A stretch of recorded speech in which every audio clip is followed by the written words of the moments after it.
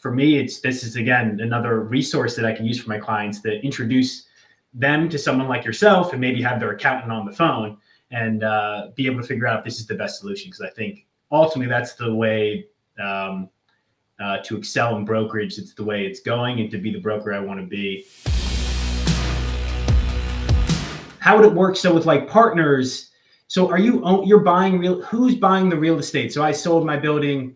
I'm now in the deferred sales trust. Let's say I have two partners and we decide to buy something else. How do I mean? I'm sure it's complicated, but like, what are the from a ten thousand foot perspective? How does that look like? Yeah, it's, it's, it's pretty simple, right? In fact, we just did a deal in uh, in in San Diego. It was a thirteen million dollar exit, and there was actually four partners, and and three of the partners decided to use the deferred sales trust. They had the majority ownership. One of them had like a five percent, so it was kind of too small. So he just paid his tax. Well, the other three were able to, to each each have a trust and each customize their their wealth plan and their investment plan, and, and, and defer the tax. Number one. Number two, they're developers, right? So they buy land for about 500,000 to a million. They develop a car wash. That's their business for about 3 million. They're all in for four, sold for 13. They're not in the business of buying car washes that are worth 13. They're in the business of developing the real estate, right? And so they need time on their side and they need to be able to uh, be entrepreneurial meaning uh, uh, not only buy when they want to but buy what they want to right? And so that's that's their model. The second part of that is you can still go buy that kfc triple net deal with the trust. In fact you partner with the trust in order to to do this through a new llc which gives you a new depreciation schedule the way we structure it. And so what actually happens is an installment sale. So you know it is seller carryback right? Where someone has a, a $20 million uh, industrial property for say free and clear in Brooklyn. They've owned it for 40 years, and a new buyer comes in, and you say, "Look, your property's worth 40 million, but if you if you if you sell for 42 million, but you finance it and you sell a carryback, we'll give you 10 million down, and you carry the other 32 million dollars, right? Right. Like that's called a seller carryback. We know about that. Now, once you get over those amounts, by the way, there's an interest charge, so we have a we have a solution for that. But that's a traditional seller carryback. The challenge with that traditional seller carryback is that your all of your equity is tied to that new buyer and that old property, which if you're selling it to begin with, the last thing you want to do is have to reclaim it or foreclose on it in a couple years, you know, to take it back and start all over again just when you get, you know, done with retirement, ready to retire. So here's a solution. We use that same structure. However, we ask the buyer to come with cash. You can get a loan, come with cash, whatever.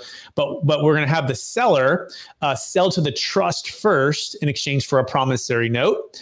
Um, we'll use 10 million as a simple example. Uh, 10 million dollar deal, fully fully depreciated. You know, 39 and a half, 30 and a half years. So he has no basis left.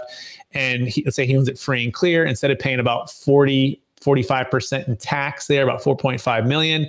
He is going to now sell it to the trust on, a, on an installment sale at 100% seller carryback, and he'll get back the 10 million plus a rate of return of typically 7, 8, 9%. We'll talk about how we can collateralize the, the, the investment now in a second. And the trust sells it to the ultimate buyer. So it's, it's the same simultaneous close typically. The trust bought and sold for the same price Bobby. So it's no gain on the trust level. Right. The buyer took title the same way he would have. He's gone. He's happy and the seller's left with a promissory note. He did an installment sale, right? Now, this is where the cool thing happens.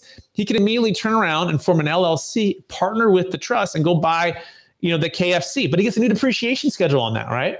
Like wow, yeah. boom versus the old one, right? But he can also buy that KFC or that apartment complex in six months, in 12 months, in 18 months. In other words, he doesn't have to do a 45 day 180 okay? Because he's no longer in the 1031 uh, time frame we call that the shotgun wedding. He's in an installment sales structure with the jv partnership the way we structure it. And so yeah it is a little more complex. It does take a little bit of you know getting used to riding the new bike if you will. But it's actually taking an old installment sales structure but combining it with a trust.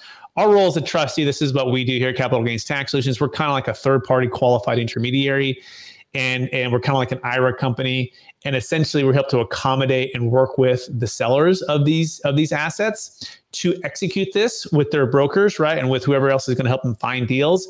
But yeah, this is why we fell in love with it because it ultimately solves what they've been telling us. We hate to do a 1031 because we don't want to be forced to pay. We hate having to stay in debt because we have to stay in the debt replacement.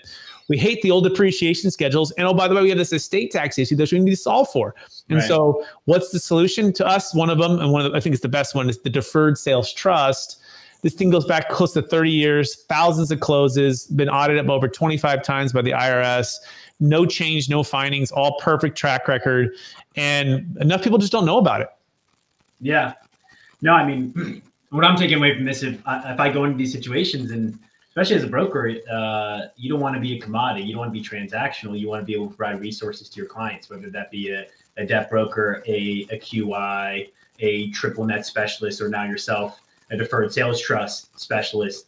Um, for me, it's this is again another resource that I can use for my clients to introduce them to someone like yourself and maybe have their accountant on the phone and uh, be able to figure out if this is the best solution. Because I think ultimately that's the way um, uh, to excel in brokerage. It's the way it's going, and to be the broker I want to be, you need to provide options to people. You can't just be transactional and uh, and clearly, uh, you know, providing all the uh, all the options is is the best way to do it.